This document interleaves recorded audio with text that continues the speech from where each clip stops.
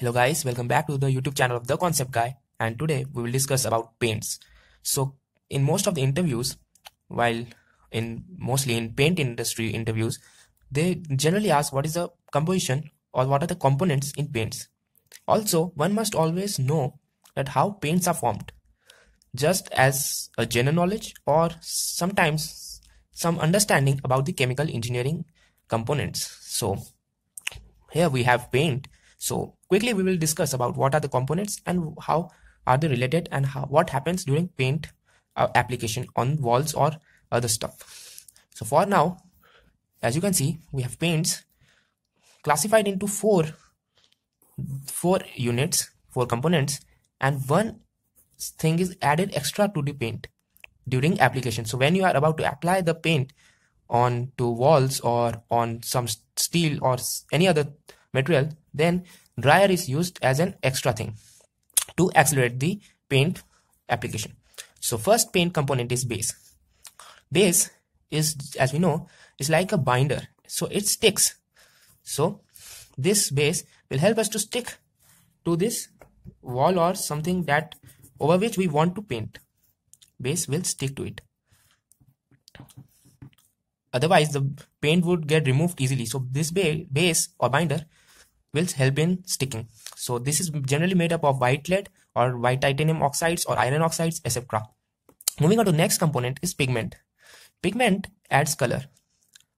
Like we have different colors of paints. So like from Indian red, so copper sulfate, various colors giving pigments.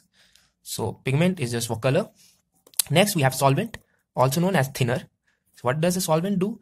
It evaporates. So it particularly mixes the paint uniformly and while applying it evaporates. It's a volatile material. Volatile means that has very low boiling point. It evaporates. So generally examples are turpentine naphtha etc solvent evaporates. Paint gets dried up on the surface where we want to paint and hence paint is applied. So let's recall what we have seen. Base attaches to the surface. Pigment provides color solvent evaporates like this is evaporating solvent. So that this paint is set. And next we have vehicle. Vehicle now to all uh, to actually combine all these three components we have something that interlinks between them. So that is vehicle. It moves. As the name suggests vehicle means move. So it mixes and holds the suspension. So it holds the whole suspension and mixes it throughout I've drawn this for just understanding, but actually this vehicle is actually flowing from base to solvent and all over this place, while solvent slowly evaporates. Finally, the vehicle is actually linseed oil or tung oil or nut oil. So these are the examples. Lastly, dryer is applied. So this is our paintbrush. We apply dryer during the application of paint on the surface. So as the name suggests, it dries out the solvent fast and hence it is gener generally made up of lead, manganese and cobalt.